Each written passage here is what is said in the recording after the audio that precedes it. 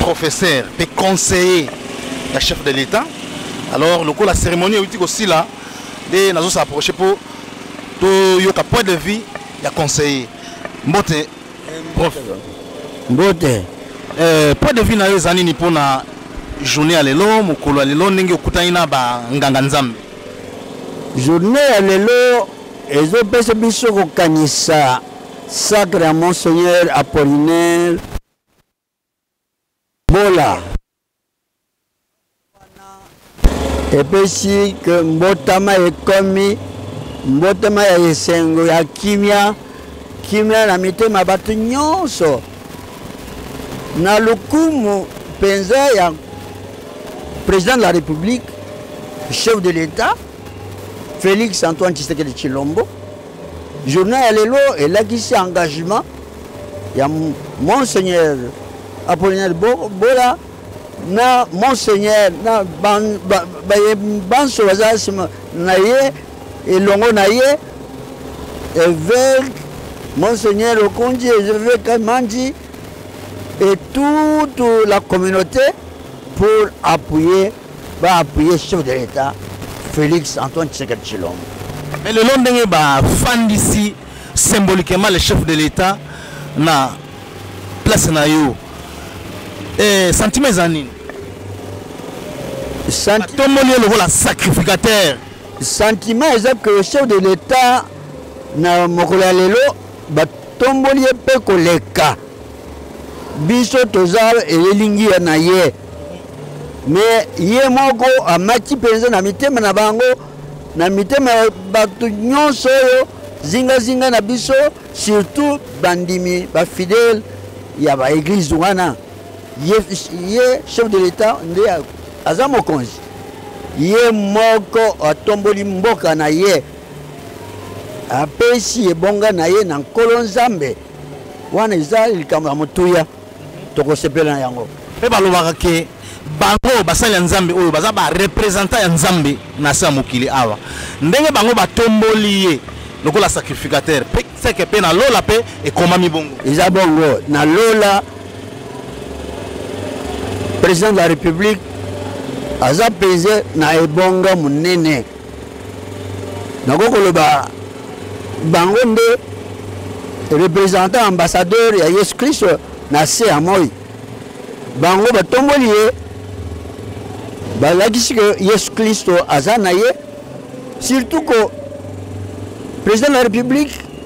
aza mpenza na sagesse intelligence discernement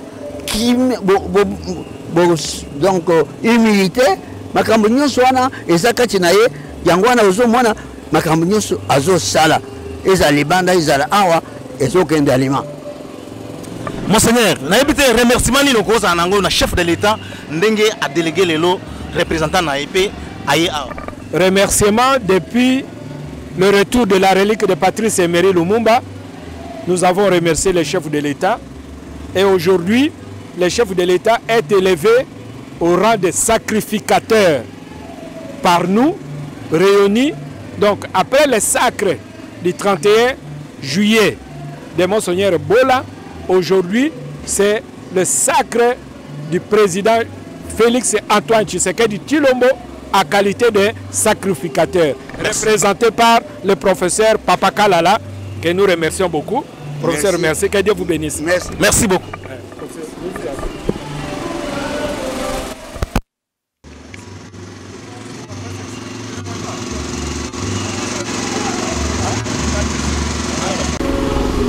Voilà, merci. Euh, bon, mon tozali awa na commune ya Barumbu.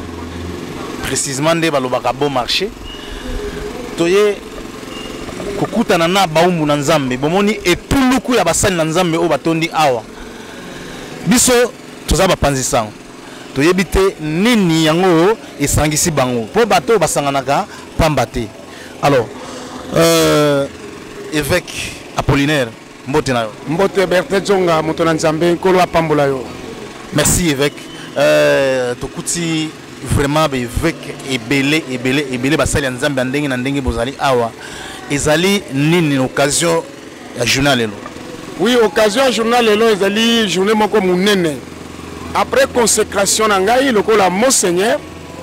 toyambaki bakonzi bautaki na présidence de la république délégué par euh, mokonzi ya mboka bayaki bazalaki na kati ya sacre et après bakendeki na nsima ya sanza moko babengi na telefone ete balingi koya kotala biso bolingi kotala biso eh, bazoya kotala biso kokutana na monseigneur apollinaire bola nde mosali apolinaire bola abengaki mpe baconsacra na yo baconsacraki ye tozali awa elongo na basali ya nzambe awa ezali bachef ya bastructure ya minene bachef ya baeglize ya minene minene tozali awa elongo biso nyonso mpo na koyamba bango tosoi mpe na bango baza na nzela kala mingi te baza kokóma awa voilà. lokola bazokóma kala mingi te euh, toyebi ke circonstance ya boye ezalaka malamu lelo toyebi te bamituka ezoya wana ntango mosusu bango eh, na miso ya nzambe eloko ya boye ezalaka malamu mingi eh? oui ezali honneur honneur ezali malamu makasi elakisi ke nzambe na biso euh, aza kocertifie baministère azo certifie baran olekisa bato baleka ntango mosusu nayebi te ah, ya monseigneur kamange azo certifie baran euh, azo certifie mosala nzambe apesaka biso salaire te nayemba mpe nalobaka nzambe na biso afutaka ezali lolenge nzambe azolakisa keno oyo ezali moto ngai na pona ta ndenge nazotamba na ye euh, bref le parcours d'un géant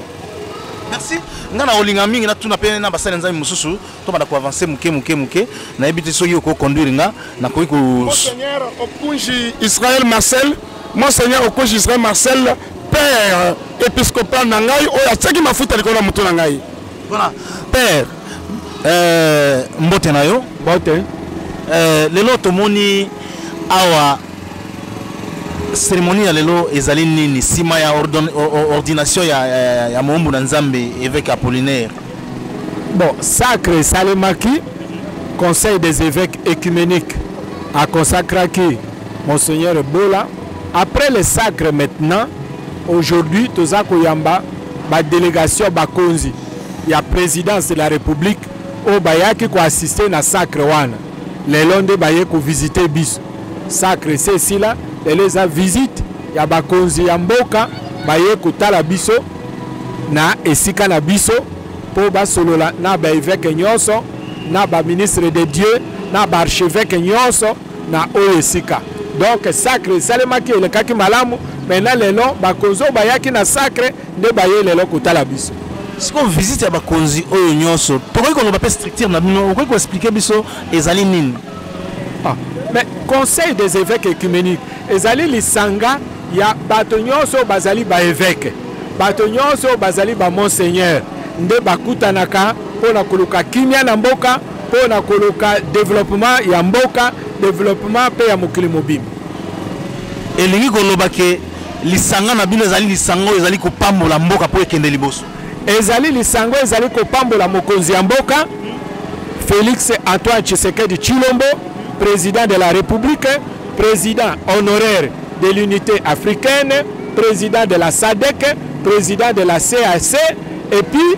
Republique Democratique du Congo kosambela mpo ete na banguna oyo bazali koyina mboka na biso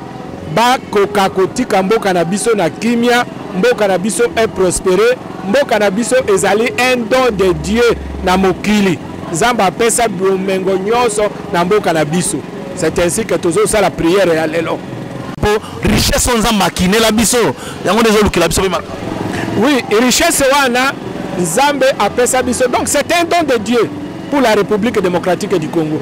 donc biso nde tokoki kose développer mpe mboka mobimba ela, mokili mobimba elanda biso oza komona mokili mobimba biso d'ailleurs vous voyez que la rdc est au cœur de l'afrique donc biso nde fo to leader ya mokili mobimba ezali rdc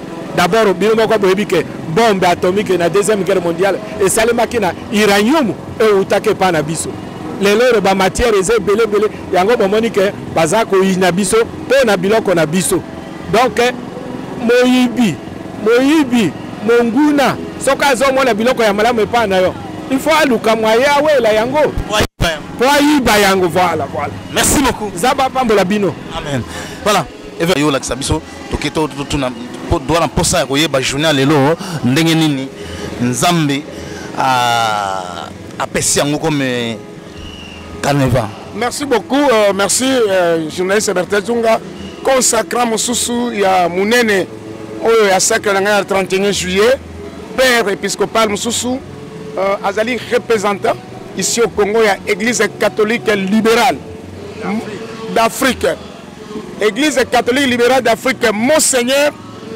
Kamanji. Ye wana soki okoki kotuna liloba moke ye oyo. Voilà. Euh, Monseigneur mbote na yo. Euh, mbote journaliste. Euh, Monseigneur lelo tozali komona bosangani ebele awa. Euh, ba rencontre boye ezalaka malamu mingi ezala mpe na miso ya Nzambe mpe na miso ya mokili okoki koloba nini mpo na rencontre ya lelo rencontre ya lelo ezali na litomba puiske eleki mwa mikolo tokulisaki banganga nzambe bepiskopo bongo kokulisa nganga nzambe na kiepiskopo ezali euh, kobimisa mpo na mokili mobimba nganga nzambe ya likolo euh, lisanga eye esangisi biso lelo mpo tosepela mpo na kokoto ya bandeko na biso bana na molongo ya kiepiskopo donc ezali na motuya monene puisque eza lokola euh, omoni mokili ezali na mbeba ebele ezali na pasi ebele bamboka mosusu euh, euh, surtout ya occident bakanisi biso oyo continent lokola afrique toza bato pamba alors bango na ezaleli na bango bakanisaka ba ete mboka lokola congo continent lokola afrike eza eloko ya bango nzoka nde eza boye te pamba te afrike ezali continent océanie ezali continent amérique ezali continent hmm? euh, europe eza continent asie eza continent donc ebongaki bato banso na mokili bazala na limemia Euh, de part et d'autre na moninga mpe bayebaka ke nzambe kaka moko moto akela biso moto akela biso banso bazali nzambe me alors lokola bango tala ndenge bazomonisa biso mpasi na mboka congo biloko oyo basalelaka misala ya minene na bitumba na, ma, na makambo ebele biutaka na congo me balingi te congo azala na arme ya solo balingi te Congo azala na kimia, balingi te Congo bana Congo baliaka malamu, basepelaka malamu na euh, richesse Nzambe apesa bango. Yango wana sikawa tozali na chance que tozwi mokonzi Felix Antoine Tshisekedi Chilombo, mokonzi ya motuya, mokonzi mokonzi toza na ye sikoyo azokanisa mboka mokonzi tozali na ye sikoyo aye mpo na koteka mboka te puiske bakonzi ya kala bateki mboka kongo na mindele bateka me ezali kokamwisa biso komona bango balingi balongo na pouvoir te il faut koseka zali mbawa batika batika me yango wana ebongi toloba na peuple na biso ke bafungola miso na matoi bayeba ete mboka ezali ya bango richesse ebele me pasi ya koleka donc c'est pourquoi lisanga ya lelo banganga nzambe oyo tokulisaki bepiskopo babale hmm? donc ezali mpo na kobunda etumba wana etumba ya koyebisa peuple verite bongo nde bo toza na baeglize mosusu awa tala baeglize wana bazali baumbu ya mindele bazali na politike ya mindele tala lere bakobimisa ya bango avis hmm, badeklaratio na bango ezali kaka euh, proche ya baoccidentaux donc biloko wana toboyi peuple na biso fungola miso koloba te naza protestant naza catholique naza kimba non église nyonso ezali ya nzambe merci beaucoup église nyonso ezali ya nzambe c'est pourquoi toye kosepela na ba nganga nzambe ba biso basika hmm, na euh, euh, euh, ndako nzambe eye mpo tosenga na nzambe asalisa mboka na biso asalisa mokonzi asalisa gouvernement asalisa bainstitution na biso inso kimia ekoto mboka congo kimia ezala na est bandeko bazala na kimia hmm? banguna batikela biso esika merci beaucoup voilà si euh, wana oyoki euh, tolingi kimia na mboka na biso adi euh, monseigneur kamanji mm -hmm. Ah. monseigneur kamanji ah, merci beaucoup awa nazopresente yo hmm. nakanisi euh, mpo na koclore interview na biso hmm. euh, nazopresente yo na kati na euh, ceo hmm. conseil des évêques écuménique toza na bastructure ndenge na ndenge awa tozo presente biso président provincial président provincial euh, ye azali euh, évêque yasa willi ekofo apesa liloba moke mpo ete toleka voilà évêque yasa mbote na yo mbote papa journaliste tokutani na yo na occasion oyo nayebi te okoki koloba nini na bato nyonso oyo bazolanda yo mpona journée ya lelo naza koyebisa na bato nyonso bazolanda biso journal lelo lelo ezali mokolo monene vraiment ya bana na nzambe parce que bible elobi na biso esika mibale misato basangani na nkombo na yesu ye azali wana vedi kosangana na biso ya lelo eye vraiment komema lipamboli monene mpe kimia na kati na république démocratique du congo epuis na afrique mobimba donc soki banganga nzambe basangani boye eza mpo na kobelela nzambe ya lola akitisa kimia na ye mpenza na kati na Congo na biso et puis na Afrique mobimba en général. Donc euh, mpo na biso eza mokolo ya lipamboli mpo na bana na Nzambe nyonso. Merci euh, évêque Toyoki que vous ne girez que pour la paix en RDC. y compris en Afrique lelo liloba nini okoki koloba na bana Congo oyo bamoni peuple congolais afungola miso peuple congolais atrahir mboka te mabele oyo eza ya bakoko na biso dieu connaît dieu sait pourquoi il nous a donné cette terre si riche 145 minéraux sous sol na monde entier congo na biso eza na 143 eza scandale géologique n'est-ce pas maintenant peuple congolais acede te na trahison acede na corruption te biso bachrétien toa na esengo parce que toza na la toute première fois un président visiblement chrétien pratiquant comme son, son excellence félix antoine chilombo que je salue avec tout honneur lelo toye kokutana pourquoi tomonaka na babiyamba misusu ezali proche na baoccidentaux oyo bazovivre bazosala baintuition ya mindele soki baconsacre monseigneur okomona mokonzi ya mboka akotinda motuka akotinda batracteur akotinda biloko mpo na cadeau mais epai na biso bacharismatique ça ne se fait pas nous servons le même seigneur nous servons le même maître nous, savons, nous avons le même président de la république Et tozali biso tout bana Congo. Tozali biso tout pays toza ba autochtones pe nous sommes dans un pays laïque dont 89% toza ba chrétiens. Et lelo tolingi to changer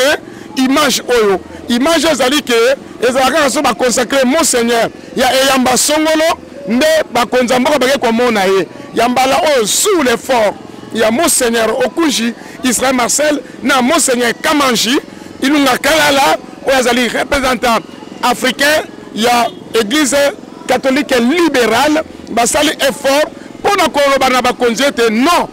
non non toyeba ete soki baconsacre moto monseigneur ezala teka soki beyamba mosusu baconsacre monseigneur bopesi lokumu soki baconsacre beyamba charismatique o oh non ça ce n'est pas notre problème toza bameme électeur toza bakarte rete na bango toza mpe na bandimi ebele lokola bango alors mokonzi ya mboka son excellence félix antoine tshilombo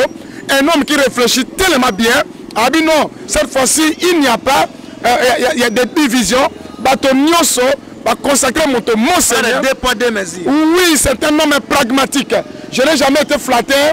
le peuple me connaît boyebi prophète ya po de dieu yeyo oyo atiaka trouble si ce n'est pas la vérité ce n'est pas la vérité yo oyebi alors président na biso Toi na seul président oyo alingi alongola bekivoke ya kala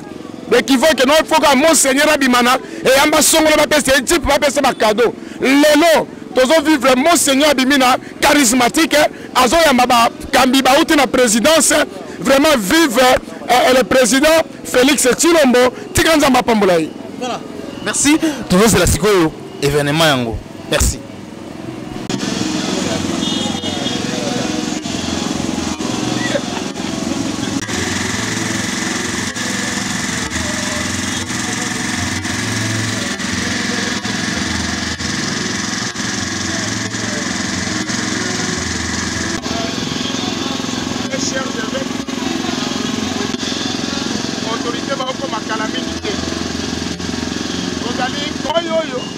Edi Congo. Oyo yo toza chapeauté awa. Nous avons Monseigneur Kamanji, représentant président du Conseil des, des évêques écuméniques.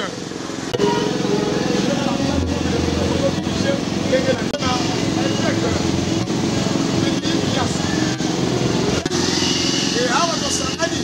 pona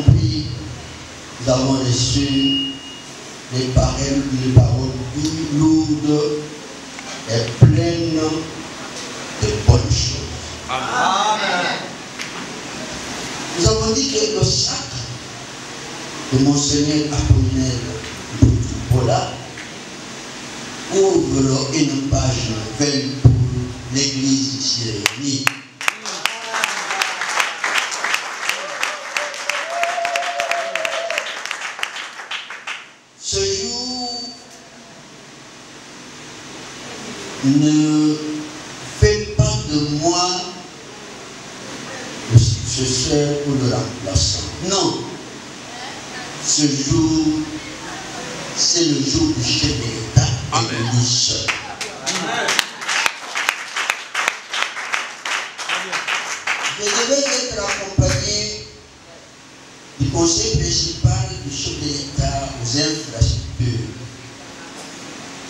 Je devais être accompagné du conseiller du chef de l'État aux hydrocarbures et en même temps du secrétaire général de l'UDPS. Mais il se fait que les deux événements, cet événement a coïncidé avec leur événement, c'est lequel, en ce moment où nous parlons, ils sont en train de préparer ce qu'ils appellent euh, la journée politique de l'UDPS à l'unité. Ils se sont écrits.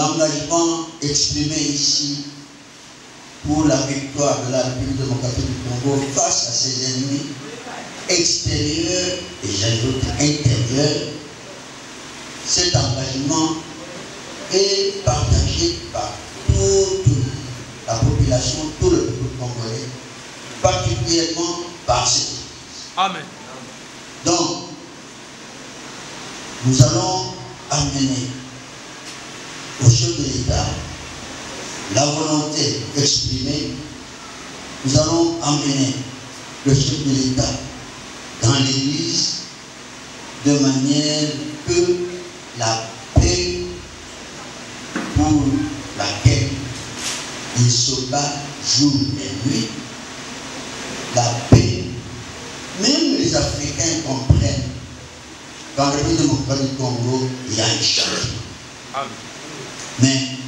ce changement, c'est nous qui devons le maintenir constant, constant et toujours constant. Donc, euh, Monseigneur Apollinaire, nous avons entendu